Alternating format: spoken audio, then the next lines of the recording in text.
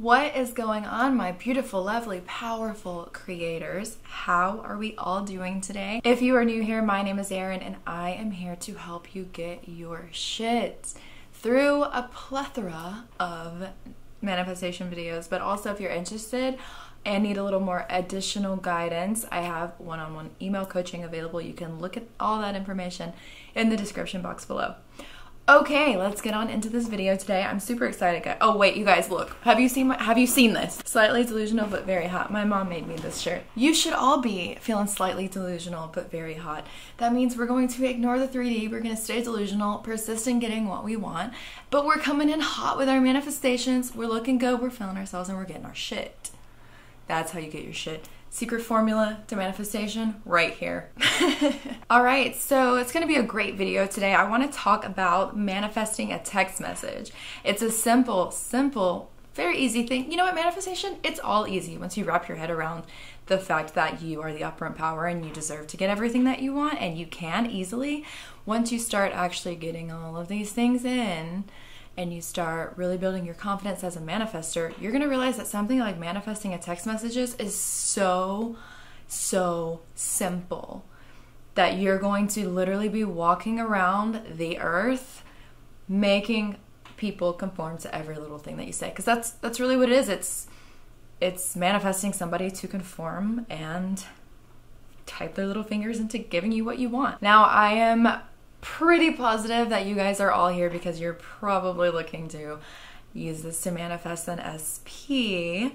But just keep in mind that you this manifesting a text message or manifesting like an email anything like that can be used to for work it can be used to get anything you want about a year ago probably I actually manifested an email because I was applying for a job and I really wanted this job.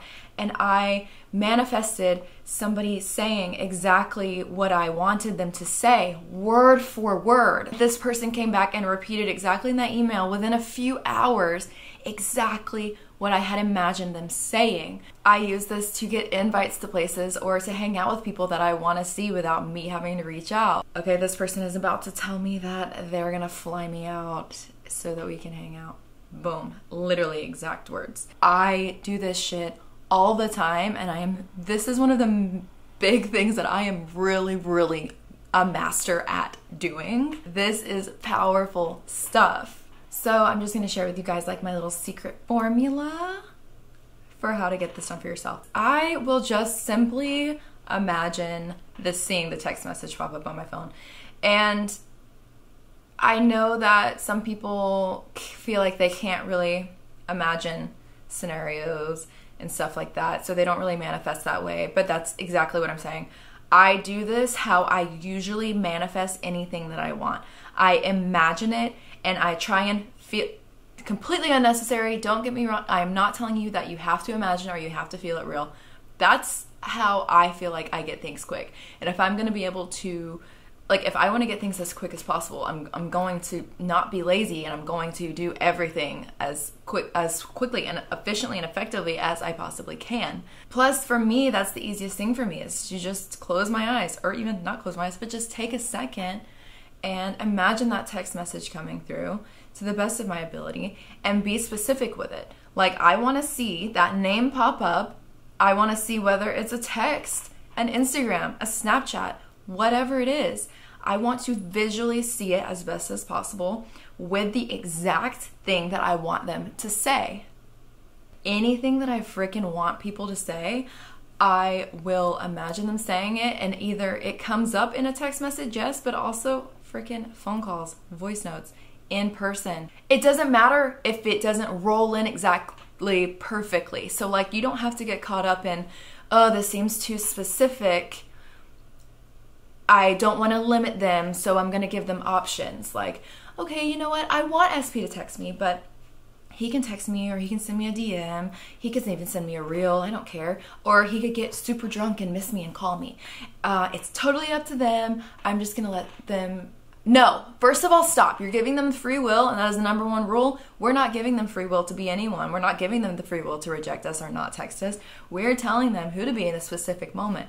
We're telling the specific person that we want something from to go into that version of them where they are giving us what we want them to give us, which in this case is a specific text message, a specific text message saying, blank, whatever we want them to say. Be as specific as you possibly can. People only think they can't be specific because they don't want to be let down when it doesn't turn out that way. But it's literally just telling your subconscious that this is what I want, this is when I want it. Whether it decides to bring it about that way or in a better way, it doesn't matter. It's like you are ordering in a restaurant. You don't sit there and get your whole menu and you're like to the waiter, hmm, I don't really care. Bring me whatever. It doesn't matter. No! What do you want to order? Choose what you want to order. Be specific and tell them and then get your shit. Be as specific as you possibly can and be concise. Who do you want to message you? Boom. What do you want them to say? Boom. Now, when do you want them to say it? Boom. SP just texted me, I love you right now. and that's another thing is we don't want to say it as we're leading up to it or we're expecting it. We're living in the end of we already got this message and we're happy about it. I'm so happy SP just texted me that they love me. Anytime your phone lights up from someone else, I'm so happy SP just texted me that they love me. Revise it immediately, right there on the spot. But use whatever technique works for you, usually when you're manifesting. Like I said, you don't have to imagine it, you don't like you don't have to visualize but the techniques that you use do not matter. If you want to write out this thing and leave it under your pillow and sleep on it all night, exactly what they're going to say, if that works for you, do that.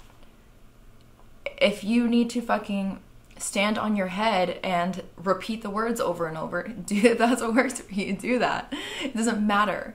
All you need to do is something that impresses it on your subconscious that you already have your desire, that you already have that message, and repeat it over and over and over. The mind learns by repetition. So tell it what you want to see and repeat it as if you've already seen it. When I'm imagining the message, I've already seen it, I've already seen it, I've already seen it a million times. It has no choice at this point than to pop up. Now, I also highly, highly recommend affirming affirming is not a technique. Affirming is keeping control of your thoughts.